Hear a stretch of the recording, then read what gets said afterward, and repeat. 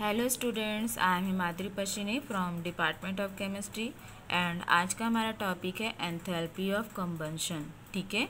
जिसे हम उष्मा का दहन भी कहते हैं। अभी एंथैल्पी ऑफ़ दहन क्या एंथैल्पी ऑफ़ कंबंशन क्या होता है? सबसे पहले इसे जानते हैं।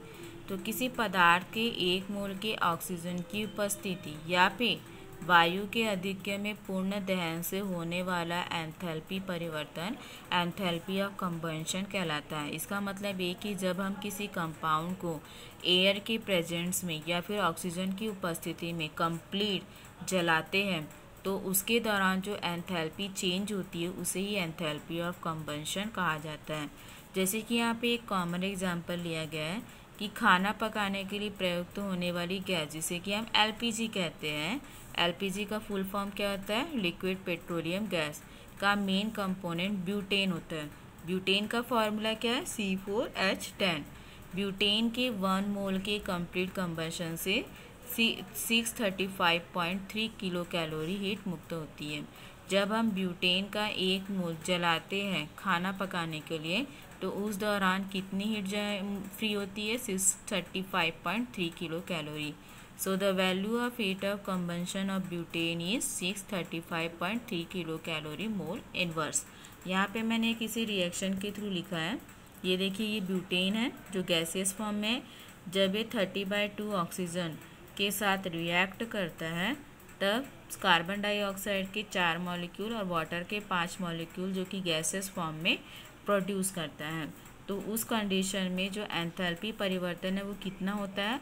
Minus six thirty five point three kilo calorie होता है, ठीक है? वैसे ही हम मीथेन की कार्बन की बेंजीन की ग्लूकोज की, इन सब की भी एंथैल्पी को कैलकुलेट कर सकते हैं।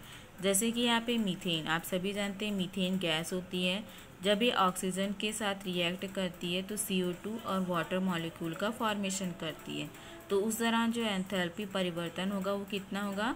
Minus two two hundred twelve point eight kilo calorie same जब कार्बन ऑक्सीजन के साथ रिएक्ट करता है तो सीओ टू गैस का फॉर्मेशन करता है, जिसके दौरान एंथैल्पी परिवर्तन जो होता है minus one forty one point eight kilo calorie होता है।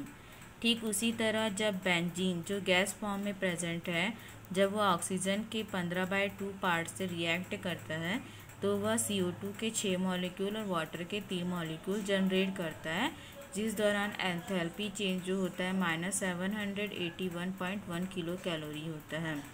ठीक उसी प्रकार जब ग्लूकोज जो सॉलिड कंडीशन में प्रेजेंट है, जब ये ऑक्सीजन के साथ रिएक्ट करता है तो छः मॉलिक्यूल कार्बन डाइऑक्साइड के और छः मॉलिक्यूल वाटर के प्रोड्यूस करता है। और इन प्रोडक्शन के दौरान जो एंथैल्पी परिवर्तन होता है, वो होता है minus six ninety three point one kilo calorie होता है। अब यहाँ पे इस बेस पे कुछ न्यूमेरिकल्स मैंने सॉल्व किए हैं।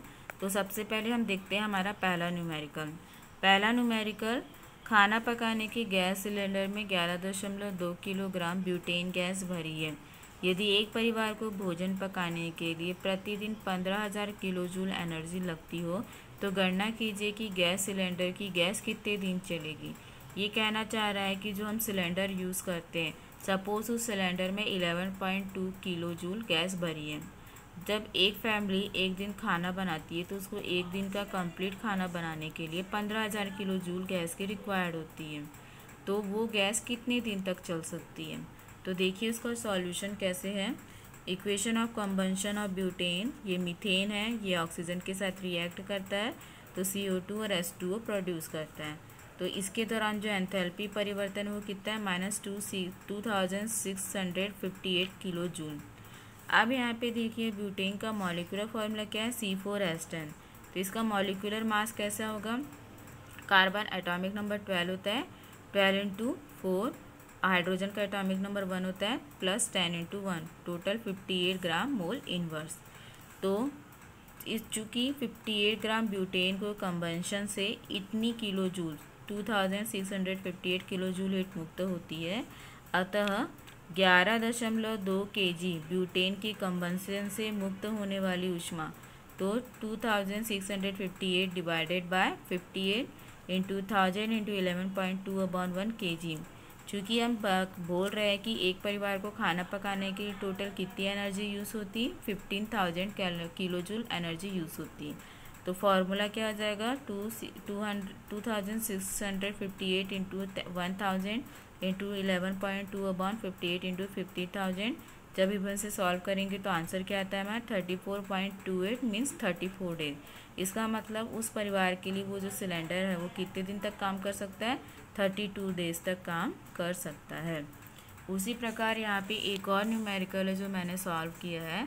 इसमें क्वेश्चन क्या है हमारा? कांस्टेंट वैल्यू तथा 17 डिग्री सेल्सियस टेम्परेचर पर, यदि कार्बन मोनोऑक्साइड की दहन उष्मा minus sixty seven point seven one zero kilo calorie हो तो कांस्टेंट प्रेशर पर उसकी दहन उष्मा ज्ञात करना है। तो सबसे पहले हम उसका फॉर्मूला लिख लेते हैं। सी कार्बन मोनोऑक्साइड है। जब ऑक्सीजन के प्रेजेंट में जलाया जाता है तो क्या बनता है? सी गैस मिलती है। कार्बन मोनोऑक्साइड का एक मोल ऑक्सीजन का हाफ़ मोल और सी का एक मोल।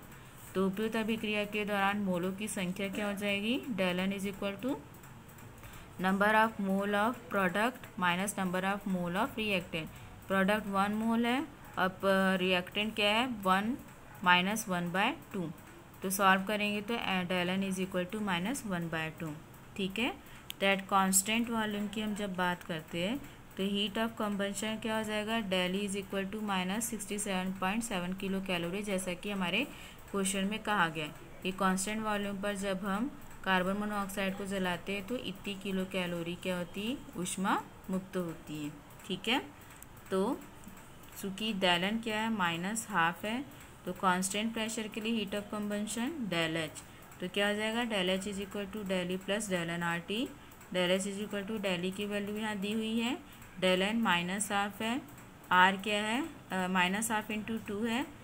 Into T two seventy three plus seventy degree Celsius जैसे कि क्वेश्चन में पूछा गया तो जब हम इसे सॉल्व करेंगे तो हमारा आंसर क्या आता है? Minus sixty eight thousand calorie. तो ये था हमारा आज का topic, heat of combustion. Thank you.